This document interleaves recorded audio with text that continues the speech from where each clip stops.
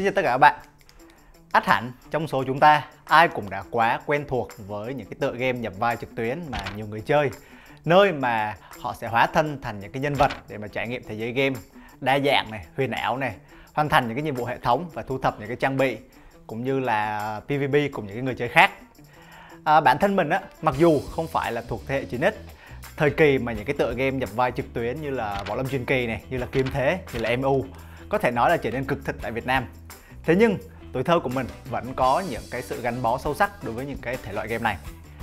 Và ngày hôm nay thì mình sẽ giới thiệu đến với các bạn một tựa game blockchain có thể giúp chúng ta tìm lại được những cái ký ức đáng nhớ ấy và thậm chí là còn có cơ hội là có thể kiếm được nhiều cái phần thưởng.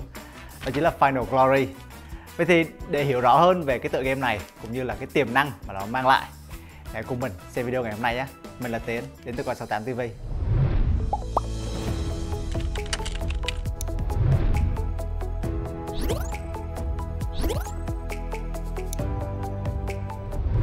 Ok, thì à, như mình đã đề cập thì Final Glory là một tựa game nhập vai trực tuyến nhiều người chơi và cũng là một trong những cái dự án tiên phong trong lĩnh vực blockchain gaming trong cái thể loại nhập vai được phát triển bởi Meta Arena. Thì game thì được thiết kế theo một cái phong cách gọi là fantasy, lấy bối cảnh là uh, phương, phương Tây thời Trung Cổ, nơi mà người chơi có thể hóa thân thành những cái chiến binh để có thể khám phá thế giới, uh, tiêu diệt quái vật này, hoàn thành nhiệm vụ này để, để thu thập tài nguyên cũng như là phần thưởng. À, thì Final Glory sẽ có những cái chế độ khác nhau như là PvE cũng như là PvP à, dành cho người chơi. Thì họ có thể là thành lập những cái tổ đội này cũng như để khám phá và chiến đấu trong tựa game này. Và thông qua cái việc chiến đấu và nâng cấp cái nhân vật thì người chơi có thể kiếm được cái token Timmy. Thì token này sẽ được dùng để giao dịch những cái vật phẩm trong game cũng như là à, trong tương lai sẽ được đội ngũ dự án launch để có thể bán ra lấy tiền kiểu như thế. Và một cái điểm đặc biệt mà mình nhận thấy ở tựa game Final Glory đó chính là à, tựa game này sẽ không có những cái gợi ý về cái nhiệm vụ một cách quá cụ thể. Thì điều này mặc dù là nó có thể khiến cho những cái người chơi mới sẽ gặp đôi chút khó khăn khi mà bắt đầu chơi game. Thế nhưng nếu mà xét về tính lâu dài thì nó sẽ góp phần gọi là làm tăng cái tính thử thách và tăng cái sự tự do khám phá cái thế giới trong game dành cho người chơi khiến họ không cần nhất thiết phải đi theo một cái khuôn khổ chung nhất định kiểu như vậy. À, thì tính đến thời điểm hiện tại á, thì game đang có khoảng gần 80.000 người chơi với tổng giờ chơi lên đến khoảng 700.000 giờ. Số lượng người chơi hàng ngày cũng đạt con số khoảng 2.000 người chơi.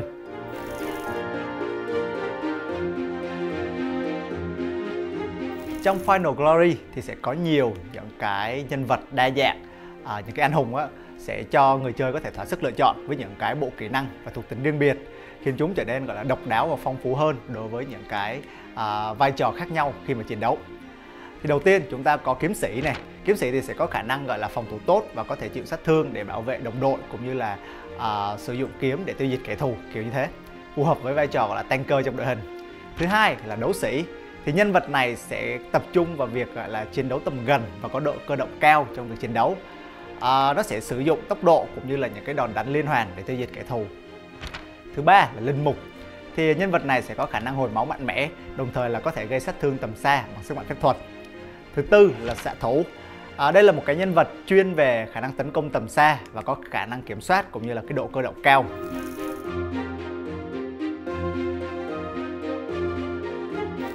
Về thuộc tính trong game thì mỗi một cái thuộc tính trong game uh, Final Glory đều mang lại những cái uh, phong cách chơi riêng biệt. Việc kết hợp những cái thuộc tính khác nhau có thể tạo ra sự đa dạng cho việc uh, xây dựng những cái phong cách chiến đấu khác nhau của từng nhân vật khác nhau. Có tổng cộng là 6 thuộc tính uh, khác nhau trong game bao gồm thứ nhất là lửa. Thì thuộc tính lửa sẽ gắn liền với việc là gây sát thương lớn uh, trong khoảng thời gian ngắn kiểu sát thương bùng nổ. Thứ hai là ánh sáng. Thì thuộc tính này gọi là đại diện cho cái khả năng gọi là hồi phục cũng như là khả năng uh, chống chịu và thường được sử dụng để hồi máu và bảo vệ đồng đội. À, thứ ba là thuộc tính gió. Thì thuộc tính gió sẽ gắn liền với việc là khả năng kiểm soát và di chuyển và là giúp cái nhân vật sở hữu tăng cái khả năng di chuyển trên chiến trường tăng cái khả năng linh động trên chiến trường thuộc tính tiếp theo là thuộc tính sấm sét. Thì thuộc tính này sẽ thể hiện cái sự nhanh nhẹn này khả năng di chuyển linh hoạt cũng như là thế việc thực hiện cái đòn tấn công chớp nhoáng. Thuộc tính bóng tối À, cũng tương tự giống như thuộc tính gió thì thuộc tính bóng tối sẽ mang lại cái khả năng khống chế này đồng thời kèm theo đó là cái khả năng chống chịu tốt. Và cuối cùng là thuộc tính băng. Thì đây là cái thuộc tính duy nhất xuất hiện ở cái nhân vật xạ thủ và à, mang lại cho cái người chơi xạ thủ cái khả năng kiểm soát cũng như là khả năng tấn công tốt.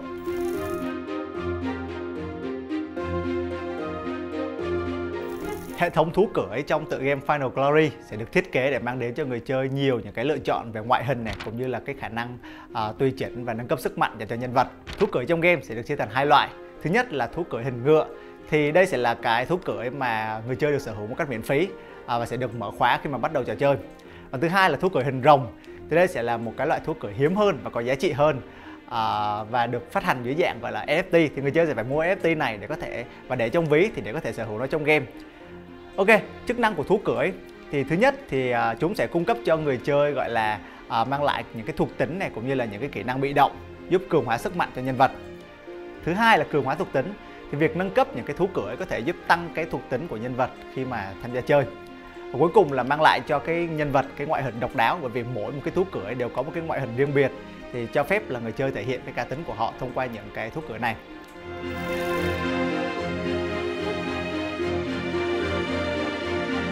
Tiếp theo là thú cưng. Thì thú cưng trong Final Glory sẽ đóng vai trò quan trọng trong việc gọi là gia tăng sức mạnh cho nhân vật. Chúng cung cấp hai lợi ích chính. Thứ nhất là cường hóa thuộc tính. Tương tự như thú cưỡi thì việc à, có một sở hữu một cái thú cưng cũng sẽ giúp gia tăng những cái chỉ số thuộc tính của nhân vật, giúp người chơi mạnh mẽ hơn trong cái việc chiến đấu chống lại quái vật. Và thứ hai là mang theo những cái kỹ năng chủ động. Điểm đặc biệt của thú cưng so với thú cưỡi đó chính là họ chúng có một cái kỹ năng à, chủ động giúp hỗ trợ người chơi trong quá trình chiến đấu. Người chơi có thể sở hữu thú cưng bằng cách gọi là triệu hồi hoặc là mua NFT.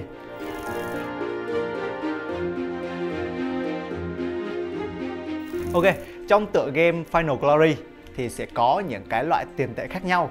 Thì mình sẽ giới thiệu sâu qua một chút để các bạn có thể làm quen. Thứ nhất là Gold Coin. Thì Gold Coin là một cái đơn vị tiền tệ cơ bản trong tựa game này.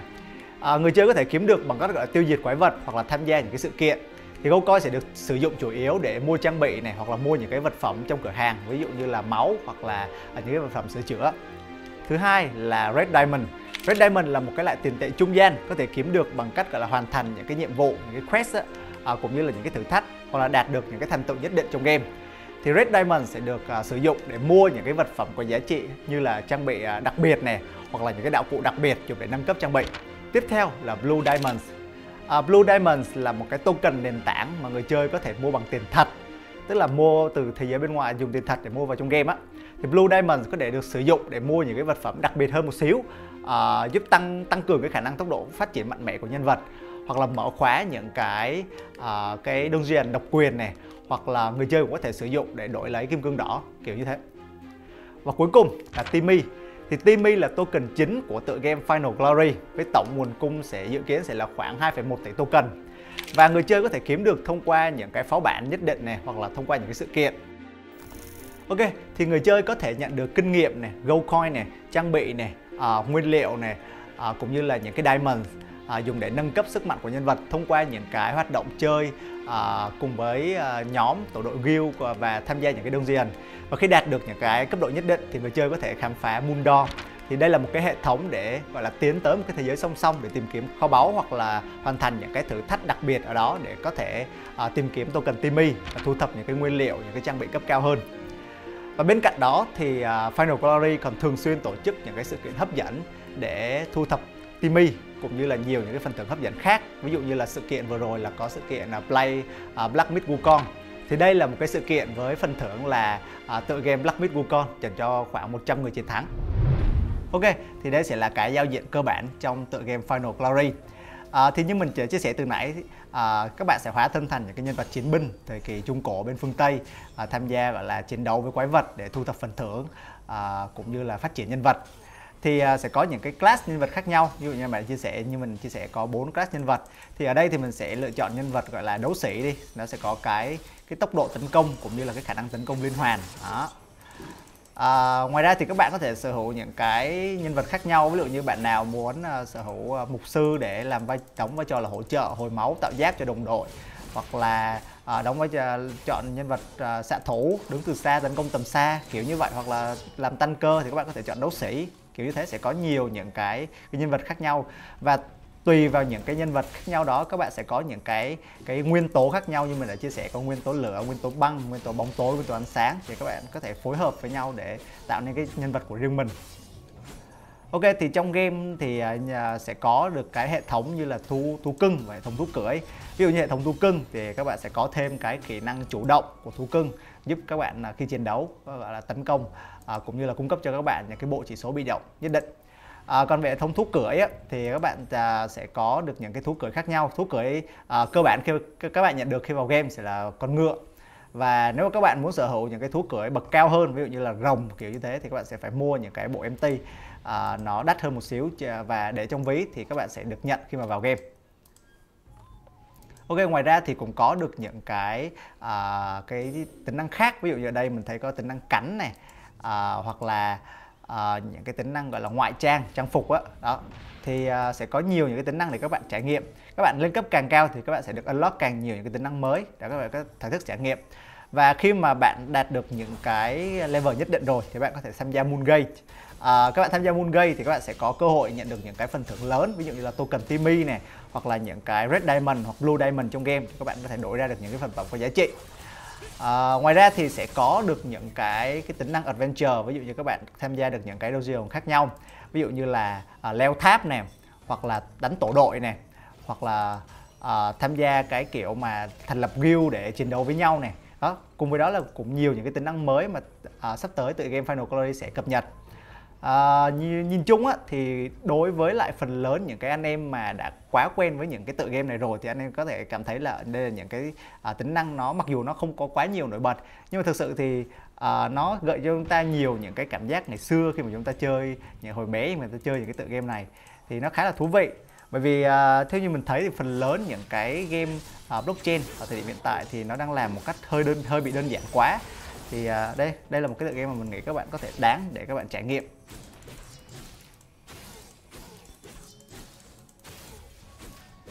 Yeah. Ngoài ra thì các bạn cũng có thể tham gia kênh Telegram của Final Glory Việt Nam cũng như là kênh Twitter của dự án theo dõi những cái à, kênh trang mạng xã hội này thì các bạn có thể cập nhật được những cái bản cập nhật mới nhất à, đến từ phía à, tự game Final Glory cũng như là những cái sự kiện mà bên phía dự án tổ chức. À, những cái sự kiện thì tùy vào cái sự kiện thì phần thưởng phần thưởng của những cái sự kiện nó có thể to có thể nhỏ nhưng mà cũng khá là hấp dẫn đối với lại những cái người chơi. Ok à, video lần này đến đây là kết thúc rồi. Cảm ơn các bạn đã xem đến cuối video. Nếu các bạn cảm thấy video lần này hay và thú vị thì cho mình xin một like, một subscribe và đừng quên nhấn chuông thông báo để luôn nhận được những cái thông tin mới nhất đến từ đội ngũ Coi 8 TV nhé.